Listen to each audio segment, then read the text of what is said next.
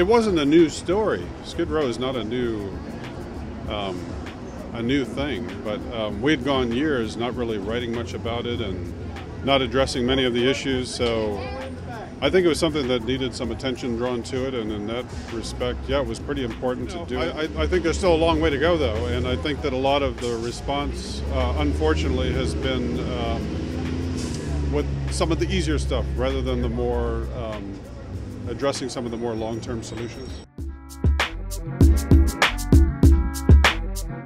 The, the real fixes for what um, you see on the streets when you see people sleeping on the pavement, um, permanent supportive housing, more uh, mental health and drug and alcohol rehab, and those are the things that we still have a long way to go on and um, just hope that if we keep the spotlight on these issues that they'll get addressed at some point.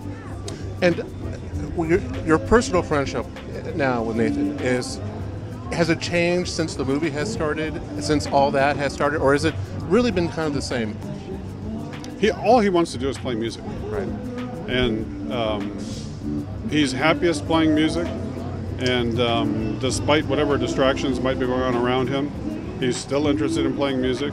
He, uh, I think, he appreciates uh, on some level that a career that um, went off a cliff has in some form been sort of resurrected and he's getting some recognition for what was a really promising career.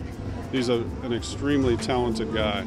If I can get him focused on one instrument, because he's, it's, and one of the things that's great about him is that he wants to play everything. He, he must have six or eight, we bought a clarinet yesterday. You know, um, clarinet, trumpet, um, upright bass, piano, violins, cello.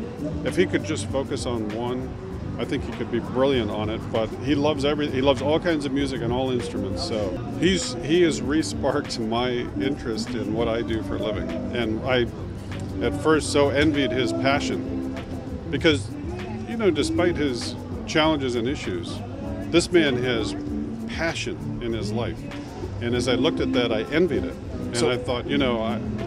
I he came to my house and played for my daughter and my wife, and my daughter is four years old, just found it dazzling. She thought it was magic, and I so envied that a man has something like that that carries him through the many challenges and stages of his life.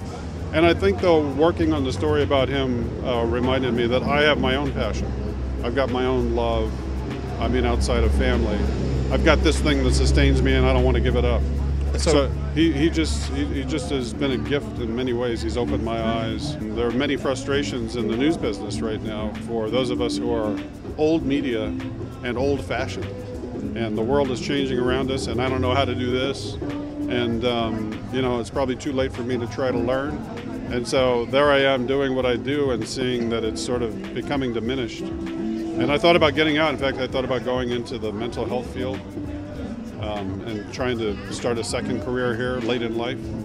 But I, I think knowing him and uh, becoming so um, so moved and inspired by him and this love that has been constant in his life reminded me that I really do love what I do and I want to hold on to it as long as I can. Well, thanks for your time. Thank you. That expanded to a few more questions. Steve Lopez, Los Angeles Times. We're here at the corner of 5th and Main, the economic and social border of downtown Los Angeles.